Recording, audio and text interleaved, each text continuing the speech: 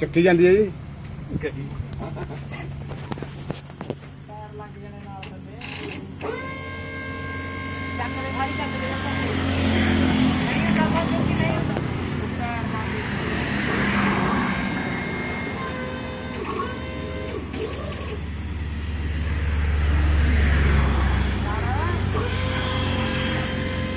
ਚੱਲ ਥੱਲੇ ਲਾ ਦੇ ਥੱਲੇ ਲਾ ਦੇ ਹੁਣ।